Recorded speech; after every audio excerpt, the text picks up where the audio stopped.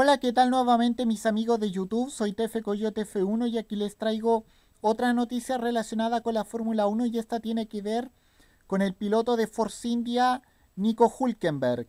Bueno, como ustedes saben, eh, se rumorea que el alemán Nico Hulkenberg podría ser piloto de Ferrari para la próxima temporada de la Fórmula 1, o sea, en 2016. Pero también hay acuerdos, también hay un posible acuerdo entre el piloto de Williams, el finlandés Valtteri Bottas, con, em, con el equipo de Maranello.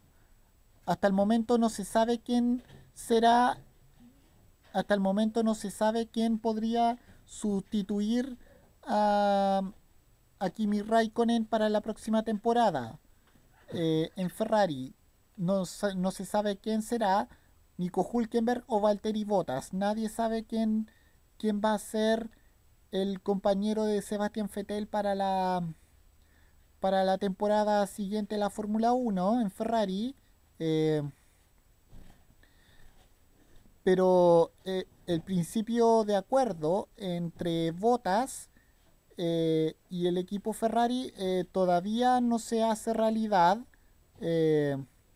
todavía no termina de hacerse realidad. Eh, y así que el, todavía no se sabe quién será el sustituto de Kimi Raikkonen en la, en la próxima temporada de la Fórmula 1 para Ferrari. Así que, bueno, espero que, que, se, que se acierte. No sé, no sé quién será. Hasta el momento no sé quién será el nuevo compañero de Sebastián Vettel en, Ferrari, pero, pero espero que eh, Ferrari, mi escudería favorita, se decida entre Hulkenberg y Bottas.